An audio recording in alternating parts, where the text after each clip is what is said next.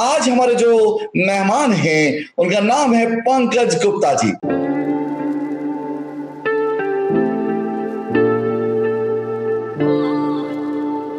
Pankaj Gupta ji custom officer रह चुके हैं।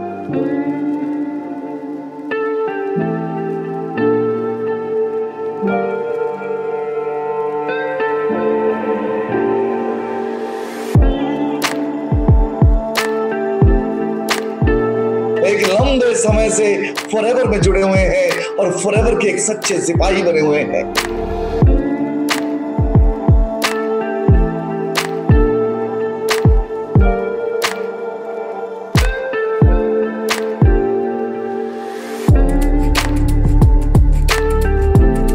दोस्तों, आप सभी का स्वागत है हमारे programme network marketing success talks with Surya Sinha में।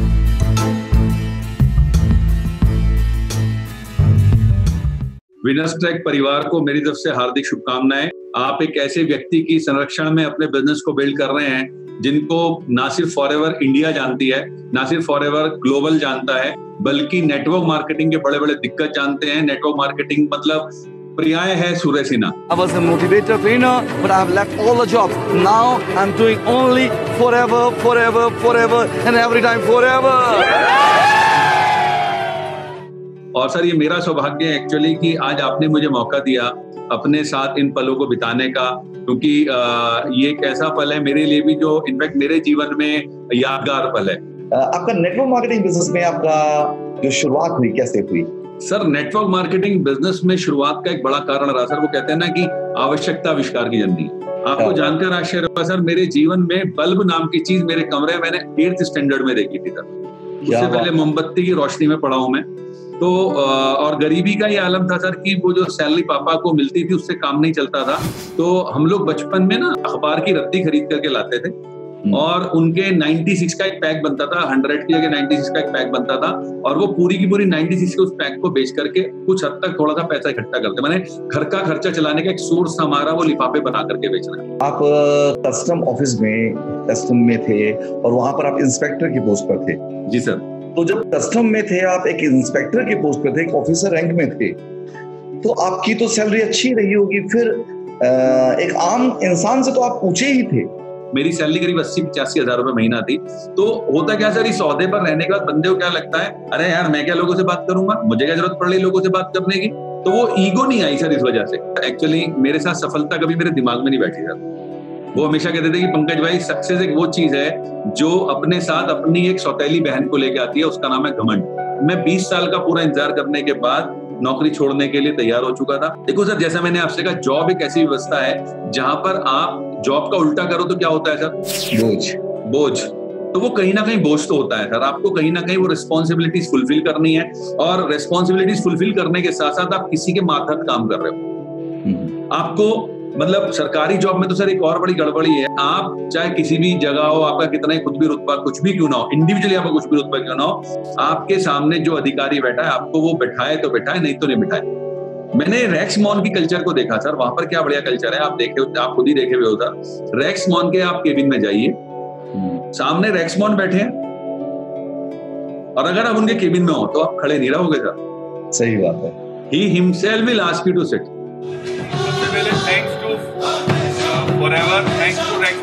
जोरदार तालियाँ रेक्समॉन के लिए।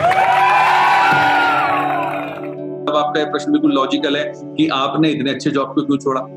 सर मुझे एक बात समझ में आ गई थी कि मेरी ज़िंदगी बदल चुकी है। बहुत अब मुझे बहुत सारे लोगों की ज़िंदगी बदलनी। और वो जॉब में रह करके सर उतना संभव जॉब में रह करके मैं मेरी ज़िंदगी बदलता जा रहा था लेकिन मैं बहुत सारे लोगों से अछूता होता जा रहा था। क्या दूसरों की चुनौतियों से इंसान ज़्यादा सीखता है और कामयाब बनता है? या अपनी जो चुनौतियाँ होती है उनको सामना करके उसको ज़्यादा अच्छा अनुभव मिलता है? जितने चैलेंजेस आपको आने वाले हैं सर आज की डेट में जितने चैलेंजेस मुझे आए पूरे के पूरे 20 साल के कैरियर में। तो मुझे ये पता है कि सर मेरी फाउंडेशन भी उतनी ही सॉलिड है।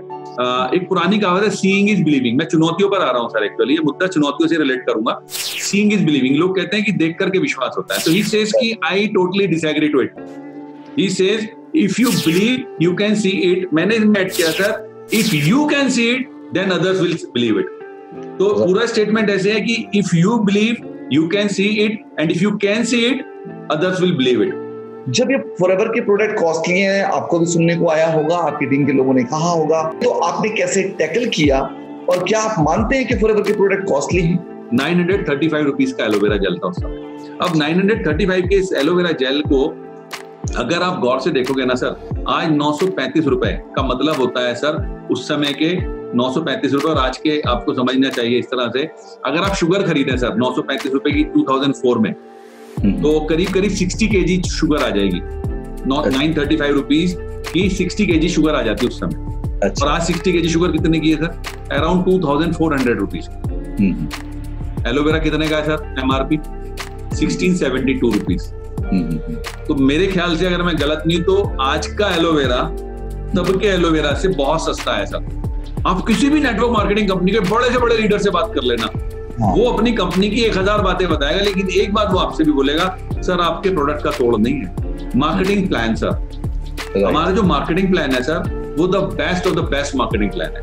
Why I am saying this because जितनी भी कंपनीज़ हैं, वो ज़्यादा से ज़्यादा थर्टी टू फोर्टी परसेंट पैसा बांटती हैं सर फॉर एवर बिल्कुल भोग बजा करके सेवेंटी परसेंट पैसा बांटती है दुनिया में हंड्रेड परसेंट बिज़नेस में से seventy percent business first year में फेल हो जाते हैं अगर आपने कोई शॉप खोली। आप जैसे मतलब सौ बिज़नेस खुले तो सौ में सत्तर बिज़नेस पहले साल फेल हो जाते हैं। बच्चे कितने रह गए? थर्टी। जो थर्टी बिज़नेस है इसका फिफ्टी परसेंट बिज़नेस यानी बच्चे तीस में से पंद्रह बिज़नेस जो है वो अगले दो साल के अंदर खत्म हो जाते हैं। हम्म। फिर बच्चे कितने रह गए? पंद्रह। मैं मेरे आंकड़े नहीं दे रहा सर ये वर्ल्ड वाइड आंकड़े हैं। बच्चे पंद्रह बिज़नेस तीन साल में आके बीईपी पर आते हैं यानी ब्रेक इवन पॉइंट पर आते हैं नो प्रॉफिट नो लॉस पे। तो ये बिज़नेस हो गया। अब बात करते हैं नौकरी की सर। हाँ। अभी यूपी पुलिस ने हाल ही में 62 वैकेंसीज निकाली मैसेंजर की यानी पियोन की। लेकिन रियलिटी क्या है सर 93,000 बच्चों ने अप्लाई किया। यानी करीब करीब अगर मैं मैथमेटिकली गलत नहीं हूँ तो 1,600 बच्चों में से एक को मिलेगी। परसेंटेज निकालिए और बच्चे कौन थे सर सुनेंगे आप? हम्म। उनमें से 28,000 बच्चा था पीएच सॉरी पोस्ट ग्रेजुएट्स 3,000 बच्चा था ग्रेजुएट्स 3,700 बच्चा था पीएचडी पीएचडी ने भी अप्लाई किया रखा था। यस सर हाँ। पर जॉब में रेशो कितना खराब है? 1600 में से एक बच्चे को सफलता मिली। कितने फॉर्चुनेट हैं? एक ऐसे काम में जहाँ पर लोग कहते हैं भाई दस में से एक बंदा सफल हो जाता है। सही बात है। 1600 में से एक बच्चा और हम्म। दस में से एक बच्चा एक बंदा। तो we are in we are such privilege actually कि आज की डेट में हम बेस्ट अपॉर्चुनिटी के साथ बेस्ट बिज़नेस के साथ बेस्ट इंडस्ट्री के साथ एसोसिएटेड है सर